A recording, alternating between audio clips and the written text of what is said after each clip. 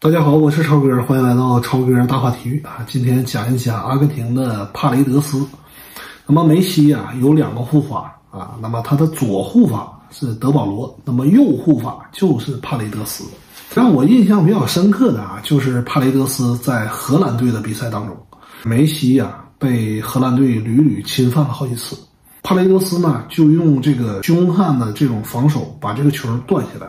断下来之后呢，这个时候屡屡侵犯梅西的那个荷兰队的后卫阿克带着球啊，那么帕雷德斯一瞅，你看你这欺负我老大是不是？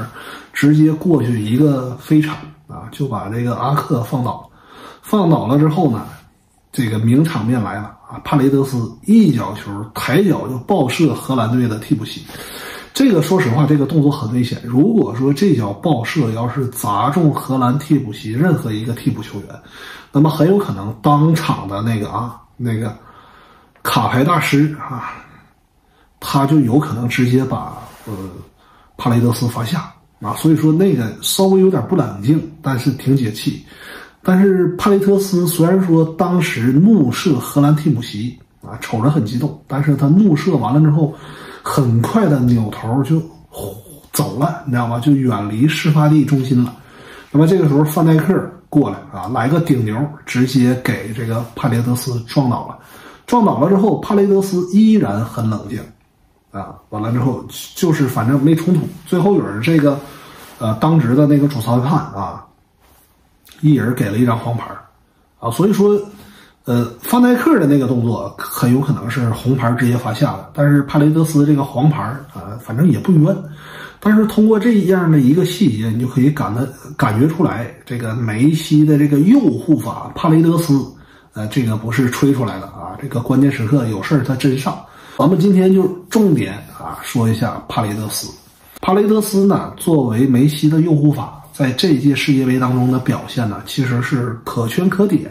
啊，关键时刻偶尔都有屡屡重要的这种发挥。他呢是以这种凶狠的拦截、不惜体力的奔跑，以及这种凶狠的逼抢著称的。但是他为什么后期就失去了？也不是后期，就是打完第一场比赛和沙特的那场比赛就失去了阿根廷国家队主力的这种位置呢？其实就是由于啊，他呃防守拦截这方面还可以，但是中场后腰这个位置需要组织、需要由守转攻的时候，就是脱节了。啊，他这一点做的衔接的不够啊，不能在由守转攻的这个过程当中向前的很好的输送运转了。那么这个也是帕雷德斯后来呢一直给恩佐打替补的很重要的一个原因。但是这并不妨碍帕雷德斯的优秀。帕雷德斯有两场比赛，我说了，表现的依然依然是非常非常完美的。一个是荷兰的那场比赛，他在点球大战当中稳稳的命中点球，决赛。他也罚点球大战了，所以说两个点球大战都是稳稳命中啊！这个对于阿根廷能够夺取世界杯，真的可以说是立下了汗马功劳。他虽然说他在后腰的那个位置上已经失去了和恩佐竞争的那种资格，但是他后期斯卡洛尼是怎么使用他的呢？就是当德保罗体力不支的时候，那么帕雷德斯去顶替德保罗的那个位置，所以说就是左右护法换着上。那么他也的确很好的完成了自己应该承担的这些任务。那么还有一点，帕雷德斯的颜值超高啊！如果说有什么颜值正义的话，那么我感觉帕雷德斯他就是代表着颜值即正义啊。那么他在这些阿根廷国家队当中啊，你要是比颜值的话，我感觉前三没问题的，对吧？就是利马、恩佐、帕雷德斯，这都是长得超帅的这种大帅哥。啊，那么未来在阿根廷国家队呢？其实我感觉，由于恩佐的出色发挥，只要恩佐个人的状态不受什么太大的影响，包括德保罗的状态，那么帕雷德斯基本上就是打替补了。但是这并不妨碍他还会为呃阿根廷队能够奉献自己的光和热，因为阿根廷他这届世界杯啊，这个新人的中场啊，真的涌现太多了，麦卡雷斯特、恩佐、费尔南德斯。包括还有一个受伤的，将来会归队的洛塞尔索。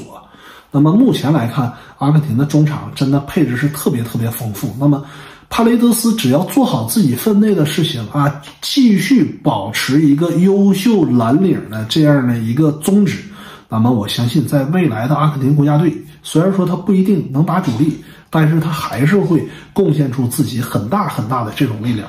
所以说，今天说到阿根廷夺冠的攻心球员帕雷德斯，颜值即正义啊，这个防守凶悍，梅西的右护法，阿根廷夺冠中场当中的替换环节非常重要的一环啊，这个就是帕雷德斯。